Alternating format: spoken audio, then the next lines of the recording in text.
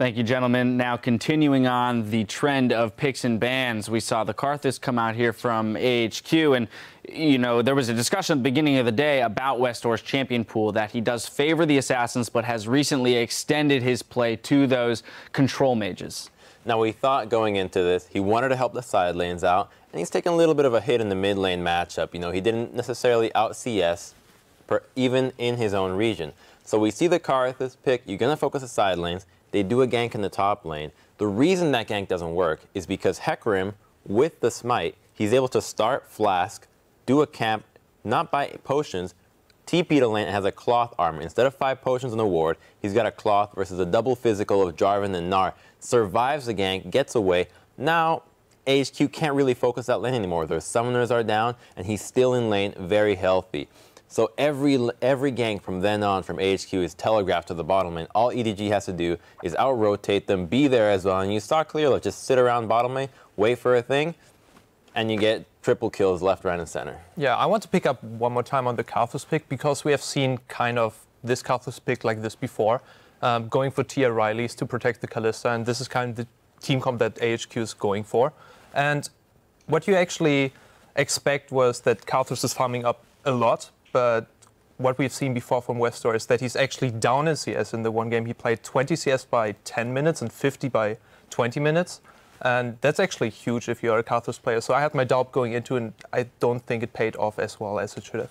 Yeah, I definitely think that the overall team comp didn't really do what it was supposed to do. You're supposed to kite back through, but there was just mm. so many beefy people. They didn't care if they sat in the Karthus in the end. And we saw as soon as EDG were comfortable that they were able to win a team fight, every single time they have an opportunity, ward vision or not, they just set up for it, make sure they're in the right position. Koro in the top lane, by the way, he was equal in kills to the Gnar and just did so much more with it. Went outright tanky with that Cinderhulk. Uh, the challenging smite was just able to delete people off the map. They as soon as EDG ever get a lead in these games, they're just going to look to take over. Well, and there's an interesting uh, thing here, Irene, in that in each of these three matches of the day so far, we've uh, determined – a you know a greater and a lesser team. We've said here's here's the favorite, here's the underdog, but in all three of these games, the underdogs have come out swinging. Yeah, and I really really like seeing that because the underdog are playing to their own styles. They're not being gun shy as well. You're seeing Mountain like flash EQ over a wall, level three to try and get a kill, to try and make something happen.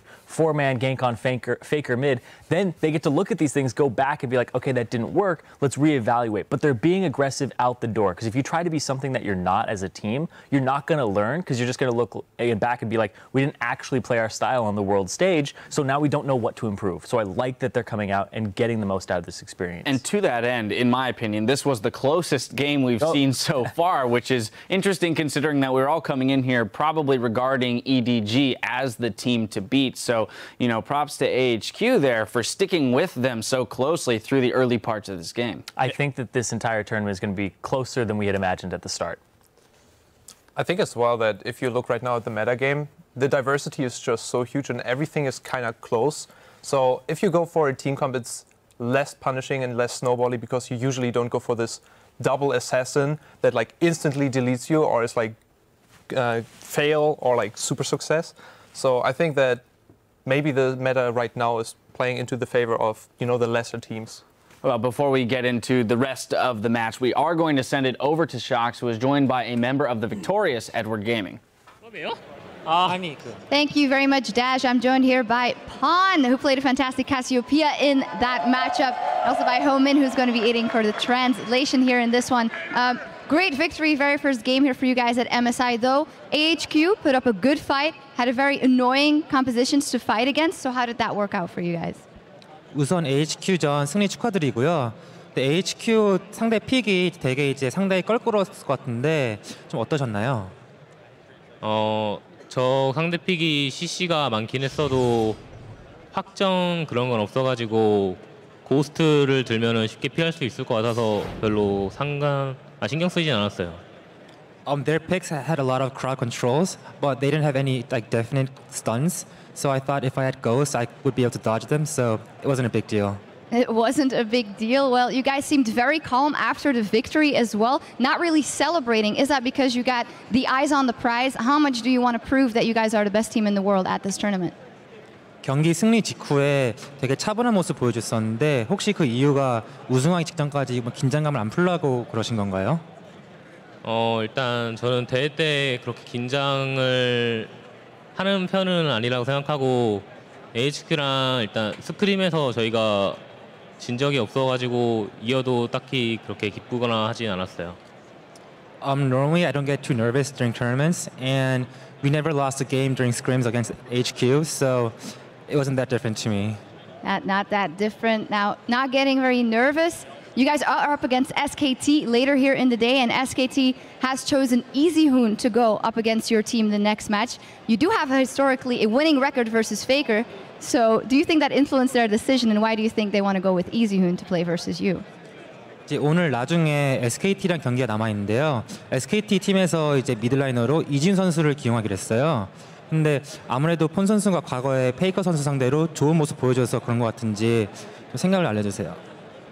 어 저랑은 크게 상관없는 것 같은데 일단은 이준 선수가 나와서 처음에 어, 활약을 하고 그 다음에 페이커 선수가 나오는 식으로 좀 많이 봤던 것 같은데 그 한국 대회에서 아마도 이번에도 그렇게 하는 것 같기도 하고. Um, I don't think it really has anything to do about me, but I think SKT's strategy is about just having Easy play first and then Faker come out later. So I think that's the way just do it. All right, well, good luck in that matchup, and congratulations for the very first win here at MSI. We're going to go back over to Dash and the guys over at the desk.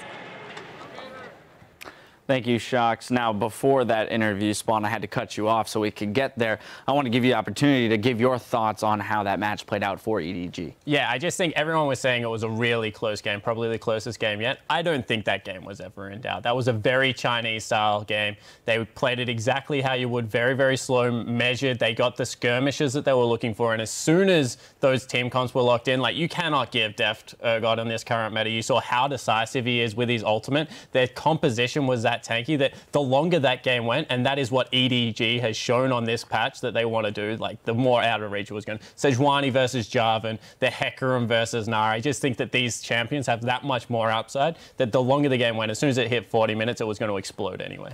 During the game, Quickshot had inquired about the Hecarim Gnar matchup, and I think that a large part of it came down to the itemization and the pressure that both teams put on the top lane. After the first gank, nobody came top to actually get any any kills going on there. So it was an extended laning phase with the exception of just TPing bottom and trying to help out in that 10, uh, I believe it was a 10 minute skirmish in the bottom side.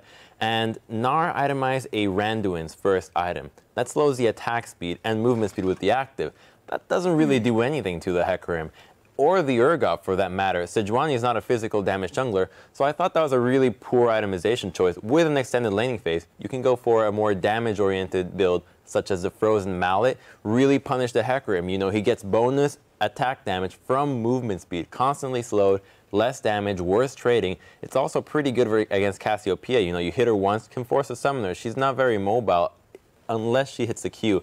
And to prevent the Q hitting, you can go for a Banshees instead of the Spirit Visage. I personally think that the Banshees is a better choice simply because they don't really have ways of poking out the Banshee spell. Just really an Urgot E, which is an important spell to, to dodge in a team fight happening, or an Alistar combo, perhaps a Sejuani ultimate. So I thought the poor itemization from the top laner really caused Koro to have a really easy time in lane, and perhaps could have punished him a little bit more. Yeah, I think we're looking at the lane as an isolation a tad too much for how EDG are playing this game. As soon as they saw that Kalista, it was going to be a Hecarim 10 out of 10 times if it's not taken off the board. Hecarim deals with Kalista so well. If you're a Gnar, it's very hard to stick on top of her. With Hecarim, you get that flank, you get the home guards in. Even if she gets landed away, you have that huge ultimate to chase her down. I think that they overcommitted on their bottom lane there. They tried to get them something that they're comfortable and proven that they can play in the past, and Koro really punished them for that with his pickup. Yeah, I think especially Koro, I think this is where, in the end, everything narrowed down to the TP play. This is actually how EDG came out ahead and um, we have a replay so let's pull that up and i'll let you continue on with your explanation. We're going to go 23 minutes into the game. This ends up being a four for one in favor of edg Take yeah what you see here is Hecarim coming mid lane trying to go for Westdoor um, chunking him down about half hp a little bit below and then everybody is collapsing onto the Hecarim and he gets really really low getting the slow needed uh, to use the ultimate and now i want you to look out what exactly is happening here they use not the Sejuani ultimate and they still have the TP. on the side. So Koro is like going back to base instantly. Meanwhile, they are skirmishing out uh, the fight, and everybody gets kind of lowish. They trade summoners. Uh, Fresh re-engages here, and this is the point where EDG is saying, okay, guys, we can still fight here. We can still go. Boom, TP behind them. What a beautiful ultimate. Hitting four people, so important that EDG just going ahead from this point out. And this is the team that has three Chinese players and two Koreans. They, that those comms looked absolutely flawless there. If you just look at that team, the fact that Koro has the TP flank and that the Sejuani ultimate comes and they bait them into this power vacuum where it looks like they're in a bad position, so people are drawn into that spot, and then the flank comes out with just this huge, massive Hecarim TPing into the back, which completely changes the flow I think that fight. is a really good display of a yeah. longer skirmish and how you actually bait the enemy going into and still having the Sejuani and Hecarim TP. So I think that was really well played. Yeah.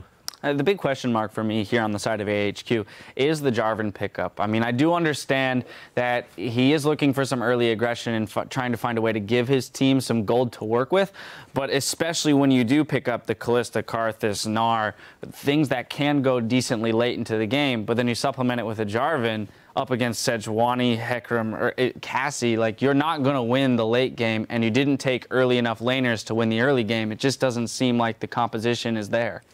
I think the Jarvan pickup is always questionable in the current meta. The problem was that EDG went with the first pick Sejuani with the Gragas ban, so the two best team fighting champions right now are completely removed off the table, and they banned Twisted Fate. So if you're EDG going into this, you're thinking, how is Westdoor going to impact the game? You know, he's uh, he's a star of the team. He wants to help the team out. Twisted Fate globals. We talked about the Karthus globals. Okay, if you pick Karthus, you're going for a team fighting composition. Let's get out one of the team fighting champions pick the other, and now the jungler isn't the best team fighting champion. If that was a Gragas instead of the it might have been a completely different game. I doubt it, but it would have been better for the side of AHQ.